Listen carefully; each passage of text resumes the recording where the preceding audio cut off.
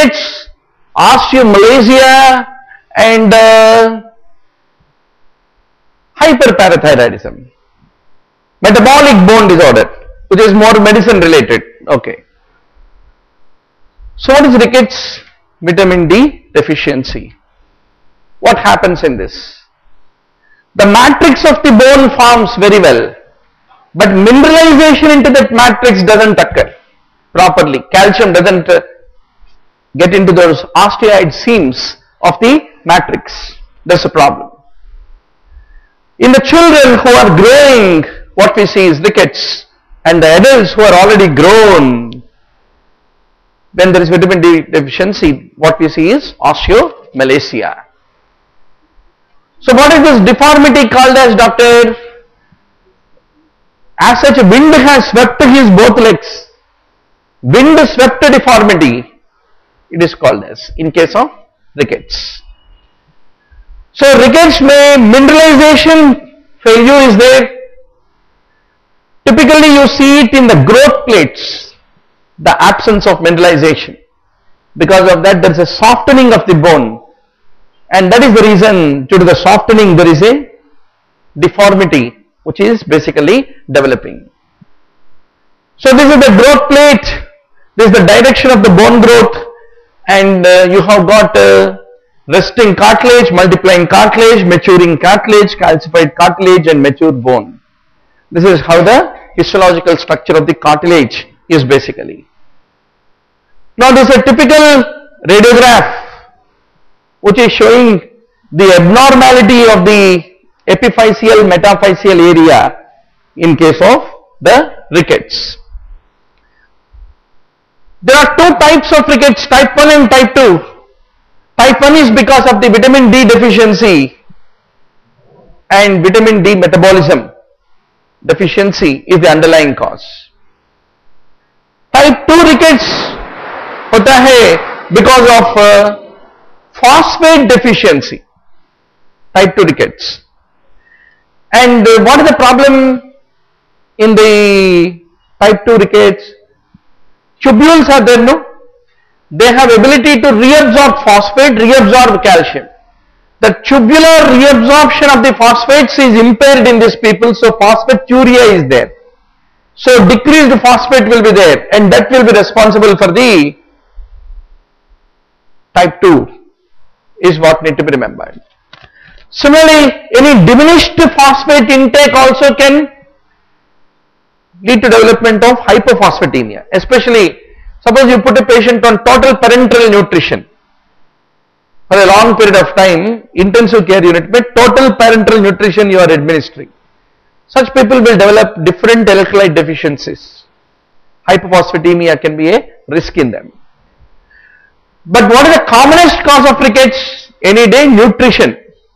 Nutritional deficiency is the most common cause. So typical child of rickets is one year old child. Any older child develops vitamin D deficiency and rickets means generally underlying cause is malabsorption. Vitamin D is a fat soluble vitamin. Any steatorrhea any gastrointestinal abnormality leading to fat malabsorption will also affect the fat soluble vitamins. Hence, steatorrhea patients can develop vitamin D deficiency. Now, the first clinical manifestation craniotabes is uh, the early manifestations in the case of the rickets, rickety infants. What do you, what is the meaning of it? The membranous bones of the calvarium they become so soft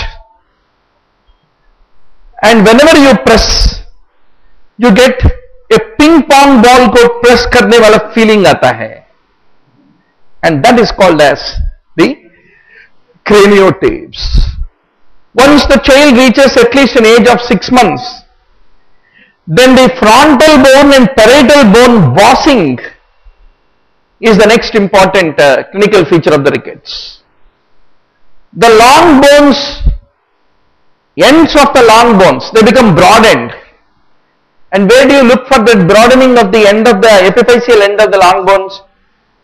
Knee joint and wrist joint are the two classical locations. When will you see this finding? Between 6 to 9 months of age. So what age, what you see is important. At the age 1 you see craniotabes, at 6 months, after 6 months, frontal bossing and 6 to 9 months you will see this broadening of the long bone ends and eruption of the teeth become typically delayed. Harrison sulcus this is called as. You can see a horizontal depression along the lower part of the chest. The point where the diaphragm inserts is basically called Harrison sulcus. Pigeon's chest is the next important deformity where the sternum is very very prominent is what you will come across. The costochondral junctions that is uh, where the sternum is there, ribs are attaching, costochondral junction is there. So that is the place where um, they become very prominent. So that lead to development of a rachitic rosary is what you will come across. So it's a typical lateral radiograph of the chest which is showing widened costochondral junctions. You are able to see and that is the typical feature of rachitic rosary is what you need to remember. There is a development of a muscular hypotonia. When the muscle of the abdomen become very weak, what happens? Protruding abdomen will occur. That called pot belly. Visceroptosis, lumbar lordosis. Even obesity will lead to all these things. Right? So all those things will basically develop. Then the ambulating child, once the child is walking and all his weight is falling on his knees, then you develop, they develop bony, bow legs, knock knees. Both knees will come closer to each other and legs become bowed is what you typically come across.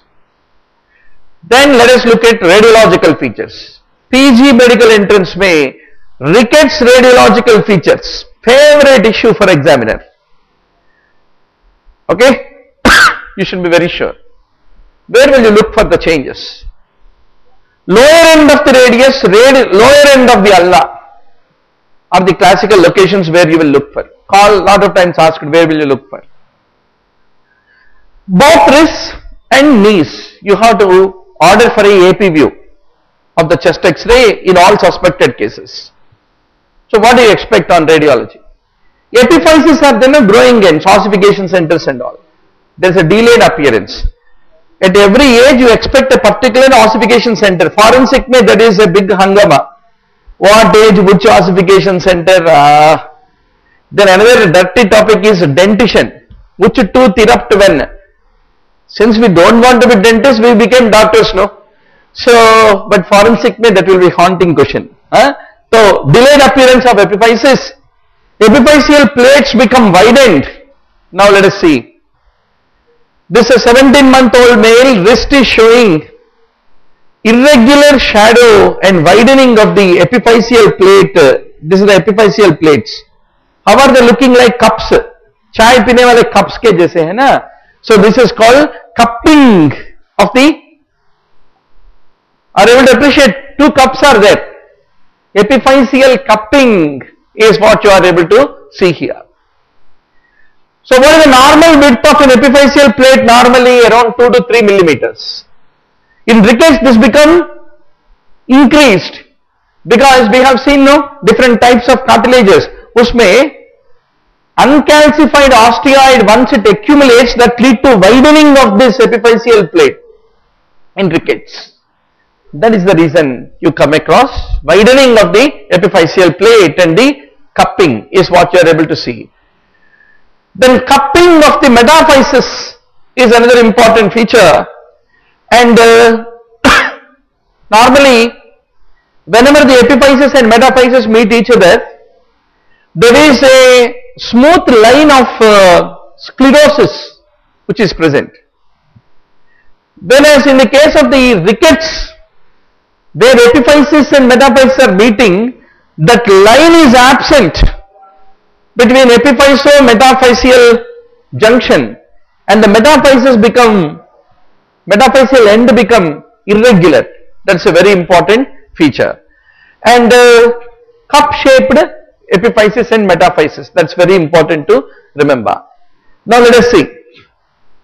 In this bone, this is the point where generally metaphysis and epiphysis are expected to show a sclerotic line between them. That is not there and the metaphysis is showing a cupped appearance which is uh, and widening of the metaphysis is there. So that is the important feature. Right? Then uh, splaying of the metaphysis is another important feature. Then shaft, how will it be? If there is no mineralization, the shaft will show rarefaction. Basically shaft can be what? Very thick white shaft you may find or very lucent shaft which is not that white when you take an x-ray. So you find rarefaction of that uh, shaft is a very important feature. Knock knees, bow legs, coxa vara, etc. They are all the other important deformities. Now comes a very important question. Rickets में क्या होता है doctor rickets में होता है can you give me project me this या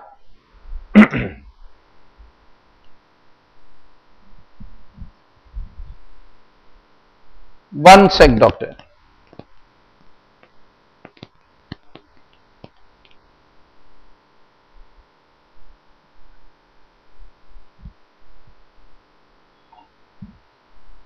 So what happens in the case of the rickets? This you should understand clearly. Vitamin D deficiency is there doctor. Vitamin D deficiency is there. When the vitamin D is low, then what happens? Absorption of the calcium become impaired from the gut. So when there is a decreased calcium, right, what will happen? That will go and stimulate your parathyroids and make the parathormone become produced. And what is the effect of the parathormone on the renal tubule? In the proximal tubule, proximal tubule, uh, when the glomerular filtrate is passing, reabsorption of the calcium and loss of phosphate into urine. Phosphate is lost into urine. That is the effect of parathormone. And this parathormone is stimulated because of low calcium. And that will come to the renal tubule and lead to development of phosphaturia.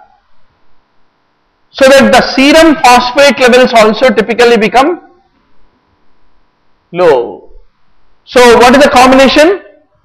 Serum phosphate becoming low, serum calcium becoming low. Sometimes serum calcium can be normal. Why? This parathormone which got stimulated, it will go to the bones. It will go to the bone. It will lead to the dissolution of this bone and release the calcium so that the low calcium where is it? Ah, low calcium become because of this calcium which got uh, released can become normal. So calcium कैसे हो सकता Calcium can be low or normal. That is what you have to basically understand. Okay, doctor. So this period to acting on the possibility is causing increased absorption of calcium. That is another mechanism. That is another mechanism. But calcium intake itself is low, no. So it has to bring the calcium from the bank. If you are a beggar, if you save money, what will you save? That begging money only you will save a little more. You have to rob a bank. That who is that bank? You have to rob a bank. Who is the bank? Bone. That is what should happen Right? So tell me the summary doctor. Very important. Serum calcium is usually low or even normal. Being normal doesn't rule out the rickets. That's the point I want to emphasize. Serum phosphate is low. Then what happens to when parathormone become high वो bone के ऊपर काम कर रहे whenever that metabolic activity on the bone increases, alkaline phosphatase levels will become increased. That's the point you need to understand. This is the story called rickets. Then what happens? Suppose if somebody has got um, hyperparathyroidism. Let's talk about it. Hyperparathyroidism. Hyperparathyroidism, you have parathyroid glands, can be of two varieties. पहला होता है primary hyperparathyroidism other is secondary hyperparathyroidism secondary hyperparathyroidism will occur in case of the rickets and other situations okay renal failure rickets and all so it is a primary hyperparathyroidism that lead to that is due to parathyroid adenoma that releases the parathormone and that lead to increased calcium reabsorption. So calcium serum levels will become elevated. That will cause phosphaturia. So phosphate levels in the serum become diminished. Primary hyperparathyroidism. That is the typical picture. Urinary phosphate will become urinary phosphate will become increased. Primary hyperparathyroidism. अगर secondary है तो what is the initiating event in secondary? Low calcium. That low calcium will become normal calcium but not elevated calcium. If elevated calcium is there, that is not secondary hyperparathyroidism. Right? Then, generally what is the underlying cause leading to the development of secondary hyperparathyroidism? Lack of vitamin D. What is the cause of the lack of vitamin D? Kidney failure. Kidney failure. Kidney में क्या होता है? 1 alpha hydroxylase will be there. Right? So, kidney failure, 1 alpha hydroxylase is not there. 125 hy- dihydroxycholecalciferol cannot be produced. And because of that, there is no active vitamin D. That is the underlying cause. But the underlying pathology is in the kidney. If the kidney is not working, normally kidney is supposed to excrete phosphate into the urine. It can't excrete. Renal failure is a state of hyperphosphatemia basically. That's the reason phosphate levels will be how? Will be increased. That is another differentiating factor. Primary hyperparathyroidism what happened? Kidneys are working well. All this excess parathormone made phosphaturia. So phosphate levels are low. But if it is a secondary hyperparathyroidism, what will happen? Phosphate levels will be high. This you don't forget. Okay? How to differentiate primary from secondary hyperparathyroidism? बहुत बार पूछेगा. Then there is one more entity called osteoporosis. इसमें mineralisation का कुछ भी दिक्कत नहीं है what is the problem in osteoporosis matrix of the bone is not forming. Matrix of the bone. There's a reason how will be calcium in this? Normal phosphate in this. Normal alkaline phosphatase in this. Normal. When everything is normal that is osteoporosis. So be very sure. So next time when they ask in entrance exam this evening should be a meaningful evening for you to remember. And suppose if phosphate levels was given as high and you happen to answer the, you, are, you happen to deliver an answer that uh, it is primary hyperparathyroidism, my evening is wasted. Right? If it is phosphate high है तो primary होता है या secondary होता है secondary हाइपरपैराथायरिज्म phosphate लो है तो primary hyperparathyroidism that is what you need to basically remember jyoti says primary parathyroidism once more you will get back in the video huh? so uh, you need to review in the video anyway in endocrinology यही story होता है huh? that's the point okay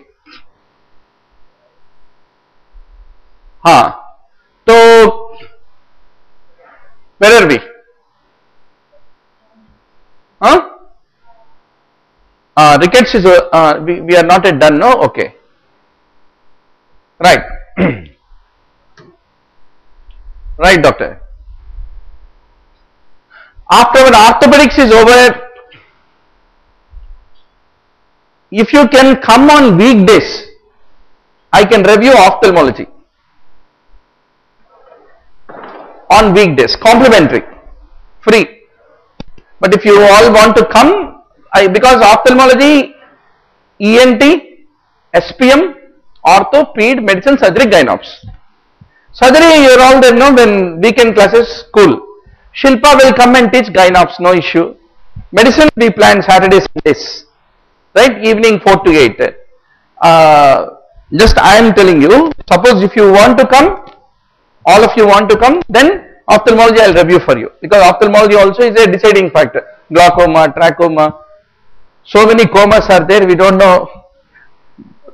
Drugs in glaucoma kya hai ye hai wo cataract intracapsular extracapsular differences between intra and extra. Logically oriented subject hai optal also.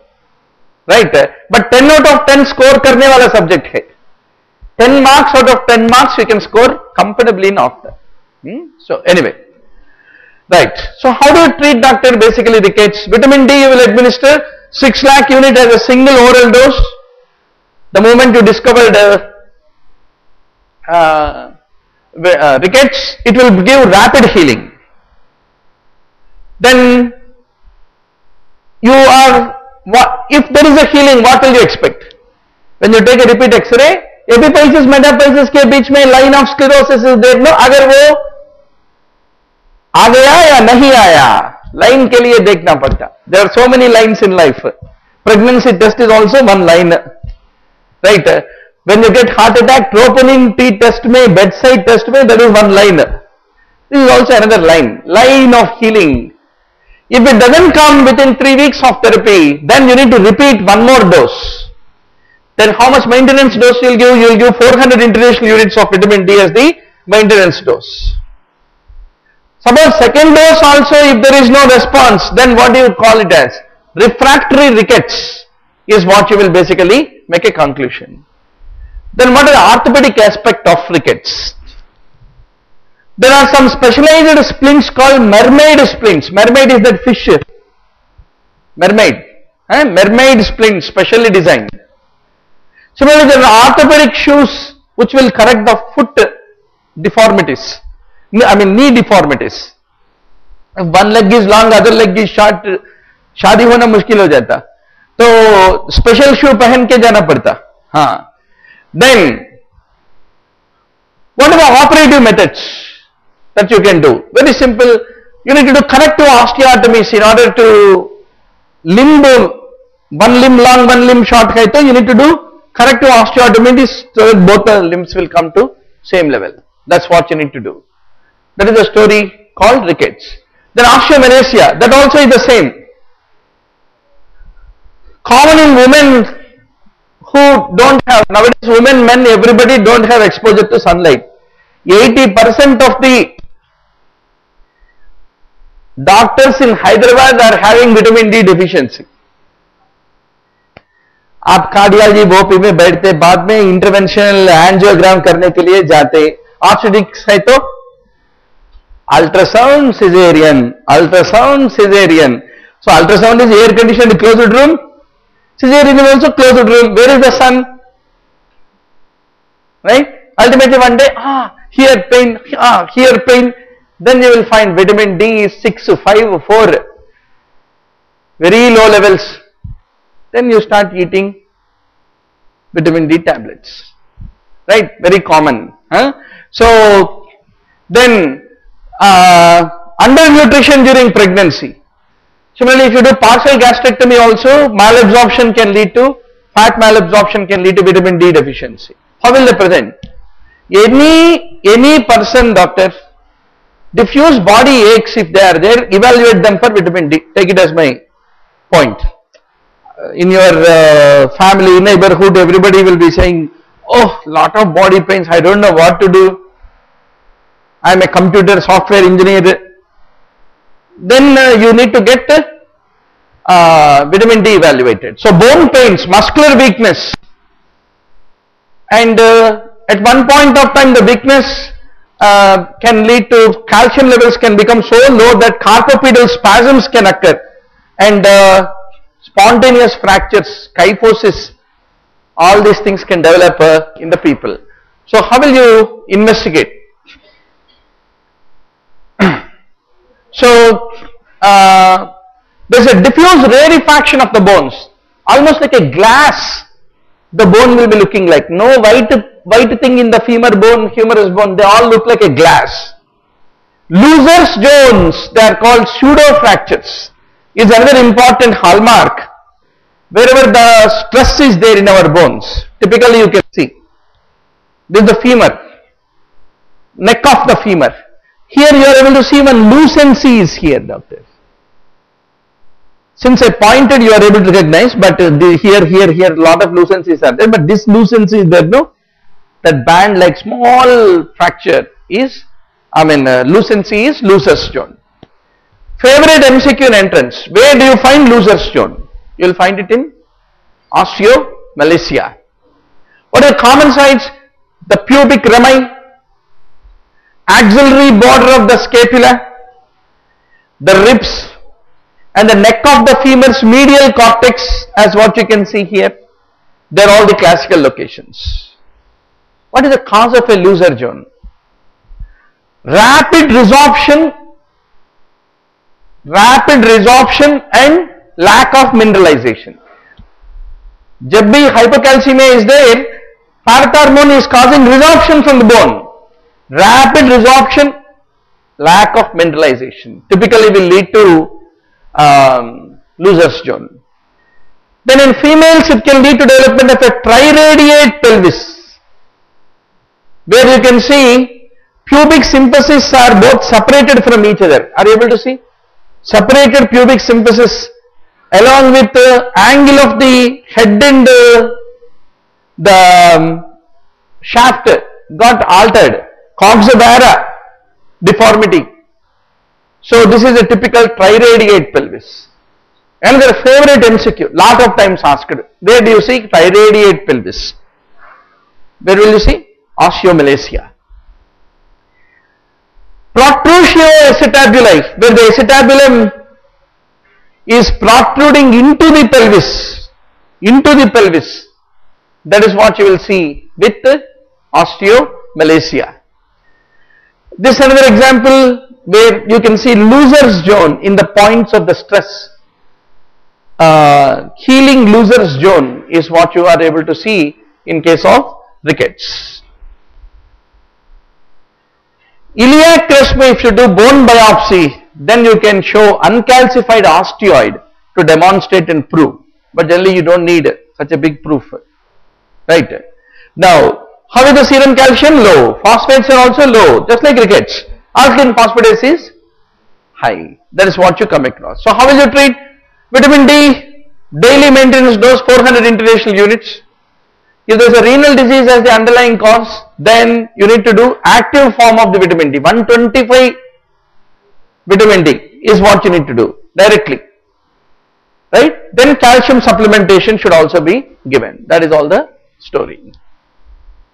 Then last but not the least in this list will be hyperparathyroidism.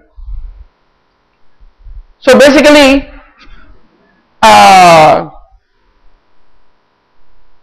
bones, bones, stones, psychic moans. Huh? Huh. So the combination is hyperparathyroidism. What will hyperparathyroid will do? It will make osteoclast to resorb the bone and release the calcium and phosphate. That's what it will basically do. What is the secondary messenger for parathyroid? Hormone? Adenylate cyclase. We'll discuss more in detail in uh, um, endocrinology. So I'll quickly run to show you. Uh, okay, there are a few things in uh, orthopedics which we can't escape. I'll, uh, so let us not escape. Okay, let's not go too much into biochemistry because that's anyway we need to do in endo. Hyperparathyroidism is a disorder you see in the third to fifth decade. Bone pain is the most common initial feature. Then uh, pathological fractures can develop because of the resorption of the bone and that can occur in the dorsal lumbar spine, neck of the femur and pubic rami. Any areas there can be a fractures pathologically happening due to the bone resorption in hyperparathyroidism. Now, brown tumor, whenever parathormone is there, it will stimulate osteoclast which will resorb the bone. Because of that, there is a development of a lucent lytic area in the bone which is called brown tumor. So where do you see brown tumor? Hyperparathyroidism. Looser's zone? Osteomalacia. So be sure. Huh? And commonly maxillae, mandible, any bone can be affected with a brown tumor when hyperparathyroidism is there. Now what will you evaluate? You will take a dorsal dorsolumbar spine x-ray, lateral view of the skull, both the hands, pelvis or any area wherever the symptoms are there you will basically take the radiograph. So what are the radiological signs? There is a rarefaction of the diffuse rarefaction of all the bones. Then in the skull what is called salt pepper appearance of the skull is the classical feature. The skull bones will show a lot of stippling and uh, small pinhead sized opacities multiply present in the actually in this view you can't appreciate you need to put it on the console and uh, you will appreciate it better there huh? now in the teeth loss of lamina dura is another important feature of the hyperparathyroidism now these are the teeth where there are there is a loss of lamina dura what is lamina dura basically there is a thin cortical bone in which our tooth socket is created. So there is a, a white line surrounding the teeth. So that is called lamina dura. That uh, white line which is supposed to surround the uh, tooth in the tooth socket in the bones, jaw bones, that will be resolved. Loss of lamina dura. Then subperiosteal resorption of the phalanges is another important diagnostic feature. Classical diagnostic feature which you see in case of the hyperparathyroidism. Then spine can show central collapse of the vertebral body and how will be how will be the intervertebral disc what happens to the intervertebral disc they become biconvex intervertebral discs. That's what will basically happen. Okay, doc. So these are the important changes. So how are the serum findings in hyperparathyroidism? Calcium become high, phosphate become low, alkaline phosphate become high. But if it is secondary hyperparathyroidism, calcium become low to normal mostly it will normalize, not high.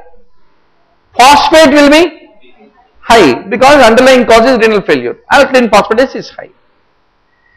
And uh, however, the urinary excretion of calcium in hyperparathyroidism parathormone will cause more reabsorption of calcium. So, calcium in urine is low, phosphate is high. That is what you need to basically understand, doctor.